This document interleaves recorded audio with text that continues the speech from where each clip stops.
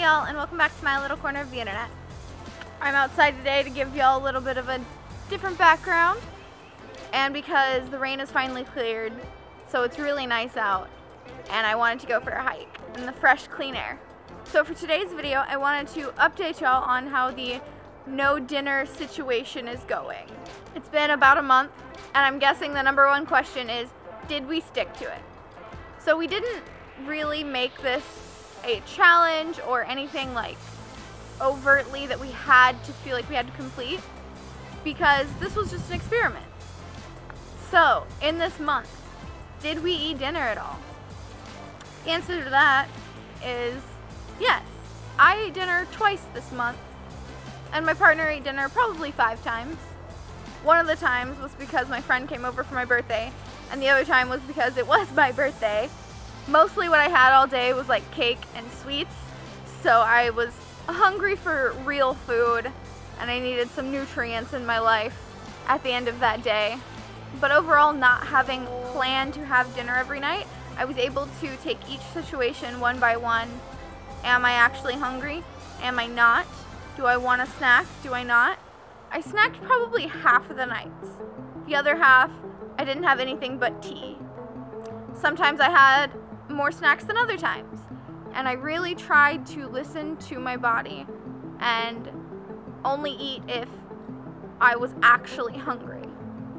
So I think we're going to continue this, not really reverse intermittent fasting because we don't have a cutoff time necessarily, though I try and stop eating around 8 and we usually eat breakfast at 6 a.m. So there is a window that we don't eat. Obviously, we're sleeping most of it. But I definitely wouldn't say that we're doing intermittent fasting. We're just trying to eat intuitively. So intuitive eating teaches you to listen to your body. So I've been trying to expand that to not only what I'm eating, but my energy levels, because I am working all the time, I tend to fall asleep at my desk. So that happened before the no dinner thing. That's just a problem I've had for a long time. So not only am I trying to get seven to eight hours of sleep every night, which I usually do, I'm also taking a nap when I get home from work before jumping into doing stuff for this channel. Because in the long run, I get more work done in the shorter amount of time because I'm focused. Whoa, is that a snake?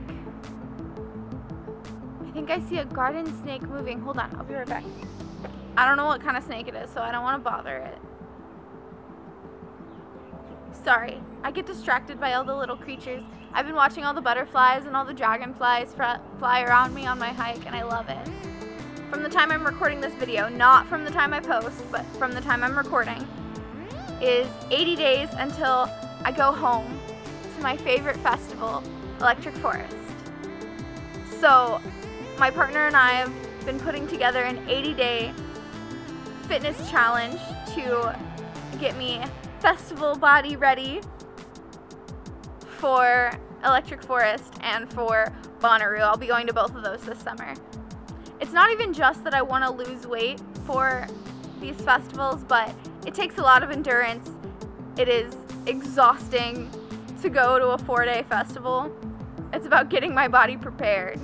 So hopefully soon I'll be able to show y'all the workout routine that we've developed, at least for this 80 days, to get me ready for festival season. I love electronic music and I love electronic music festivals. Let me know in the comments what your favorite kind of music is and if you like to go to festivals or to live shows or anything like that down in the comments. And let me know if you're going to be at Forest or Bonnaroo so we can maybe meet up.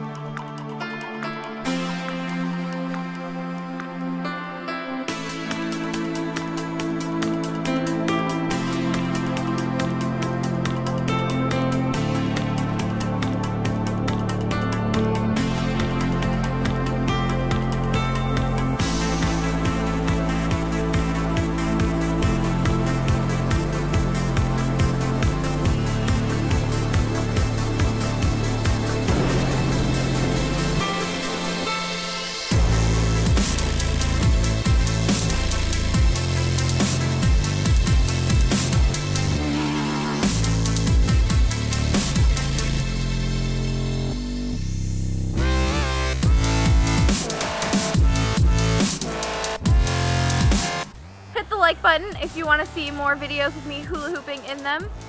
Hit that subscribe button if you enjoyed this video and you want to see more. Hit the notification bell so you know when I post. And follow me on Instagram and Twitter. Watch my Insta stories to see what I'm doing.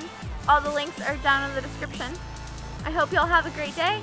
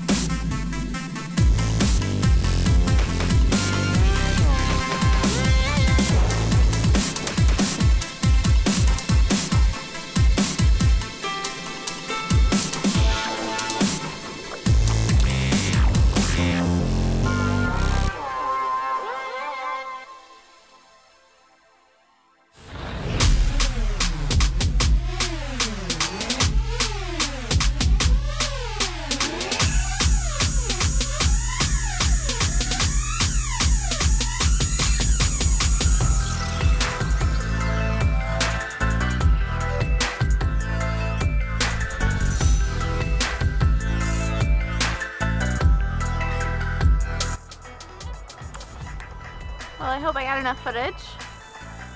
I hope I didn't suck too much. And I hope it all looks good stitched together, cutting out most of my fails. And this is my first time hooping in a while because I've been working so much, but it's gonna be part of working out and getting ready for festival. It's such a good workout and it's so fun. But it is very hot outside even though I'm in the shade and I'm very hungry now. So I'm gonna walk back and uh, eat some lunch. Stay tuned at the end of this video for a blooper reel of me dropping my hula hoop. Because we all do it, right?